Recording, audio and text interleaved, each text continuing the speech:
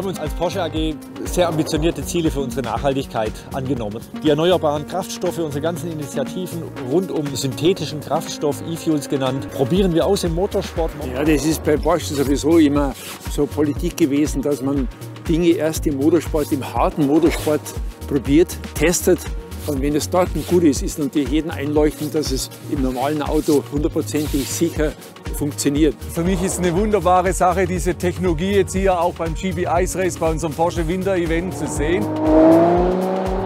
Wir haben die Zielsetzung, bis 2030 bilanziell CO2-neutral zu sein. Und das ist ein richtig steiniger Weg und da brauchen wir jede Technologie. Porsche macht mit vielen Partnern, mit ExxonMobil, mit AME, mit Siemens Energy dieses Projekt. Mit regenerativer Energie spalten wir Wasser auf in Wasserstoff und Sauerstoff und aus der Luft machen wir über Direct Air Capturing das CO2, haben dann Methanol, flüssiges Methanol, was transportfähig ist und dann können wir es an die Locations der Welt bringen und dort raffinerieren und einsetzen. Und für Porsche ist ja ein ganz wichtiges Element in unserer Drei-Säulen-Strategie in der Zukunft auch nachhaltig Sportwagen zu betreiben. Für mich als großen Oldtimer-Fan, ich möchte natürlich ganz gerne meine alten Autos noch bewegen und noch dazu vielleicht kein schlechtes Gewissen haben.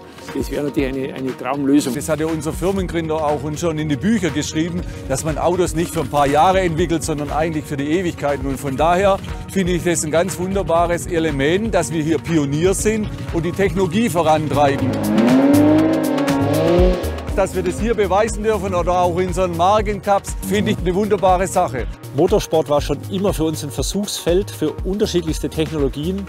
Und wir nutzen das ganz konsequent, aber auch in der Tradition, auch für das Thema Nachhaltigkeit. Ich habe mit unseren Fachleuten gesprochen, da sagt, keine Bedenken. Und das Tolle ist halt auch, es ist eine Infrastruktur. Es ist alles da.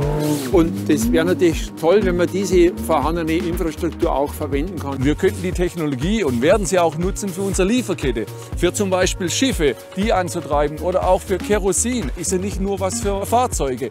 Und ich finde, weil das so breit gefächert einen Nutzen haben könnte, muss man es vorantreiben. Deshalb ist diese Technologie kurzfristig einsetzbar, nicht 100 Prozent, dass sie alles CO2 minimiert, aber weitgehend und schnell und das ist das Wichtige.